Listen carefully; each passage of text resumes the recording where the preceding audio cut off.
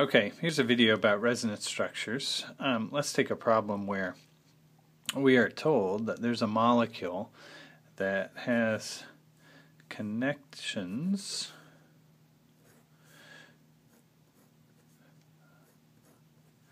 like this. Now, either you have to be told how the atoms are connected in the molecule, or it has to be really obvious for you. Uh, hydrogens, for example, are only going to have one bond, and so that can give you a clue at how the atoms are connected.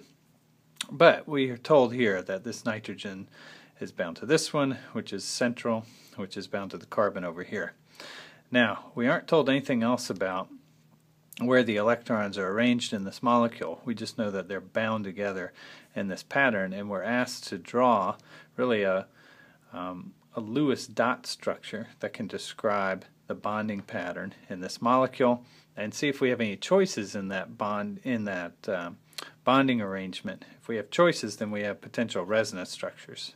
Okay, so the first thing to do when trying to really satisfy the octet of each of these atoms is to figure out how many electrons you have to work with. And so we have two nitrogens, a carbon, and two hydrogens. Each nitrogen can give us five valence electrons. So we have 10 valence electrons from our nitrogen. Our one carbon gives us four valence electrons. And each hydrogen gives us one valence electron to work with. So we have a total of 16 valence electrons to work with. Now we've already used some of those electrons to bond these atoms together. We've used 2, 4, 6, 8.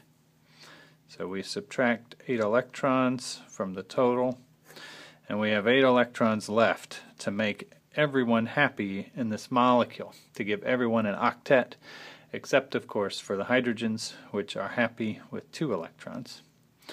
Now the way I proceed from this point is I ask myself, well, how many electrons would each atom need to make an octet if I were just going to add them on as lone pairs. Okay. So this nitrogen has two electrons. In order to make an octet it would need six more electrons. this nitrogen would need four more electrons.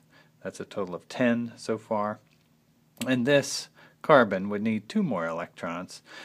That means I would need 12 electrons in order to make everyone have an octet if I were to add those electrons just as lone pairs. Now I don't have 12 electrons, I only have 8. And so for every two electrons that we're lacking, I'm going to have to add a double bond. So we're lacking 4 electrons, so that means we will use two more bonds. This describes we don't have enough electrons for everybody to have them for themselves, so there's going to have to be some sharing involved. So we're going to have two more bonds.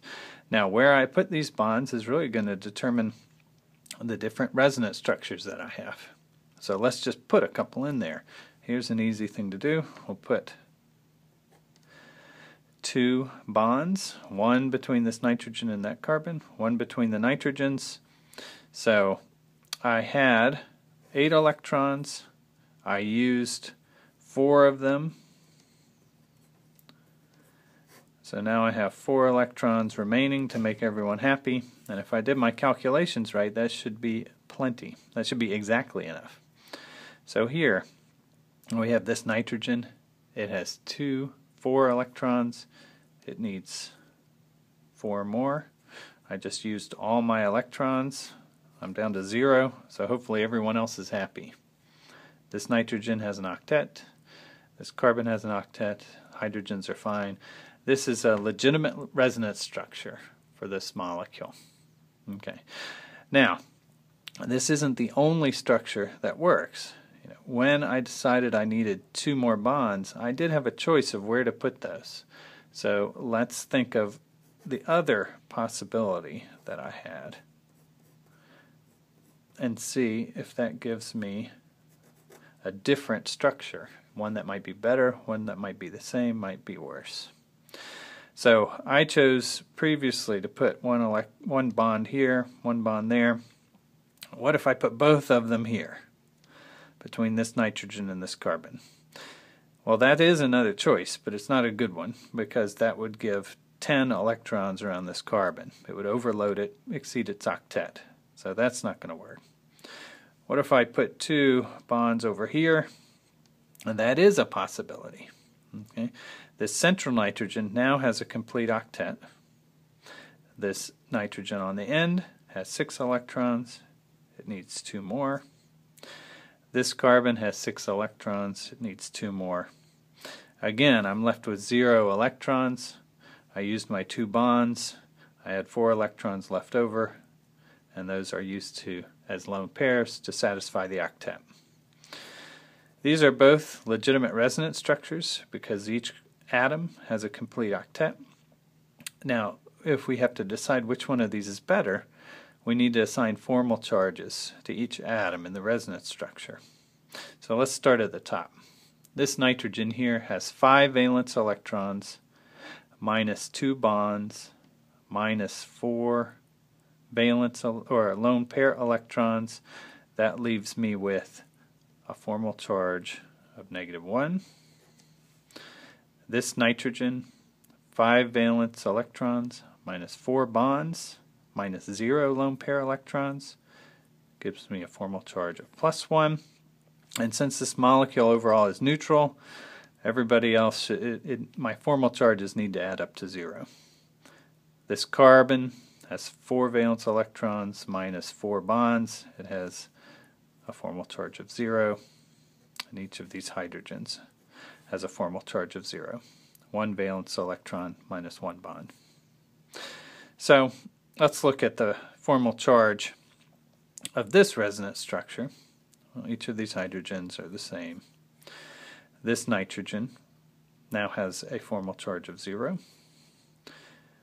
This nitrogen remains with a formal charge of plus 1 and this carbon has a formal charge of minus 1.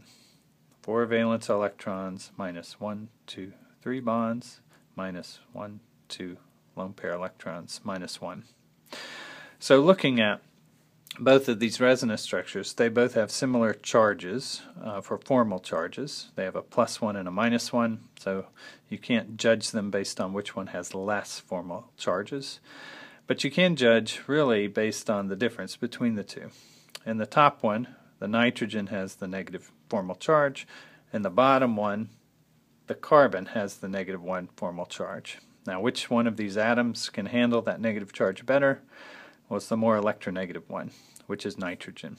And so a more stable formal charge would be one where the nitrogen has the negative formal charge, and so we would choose this top one as a more stable.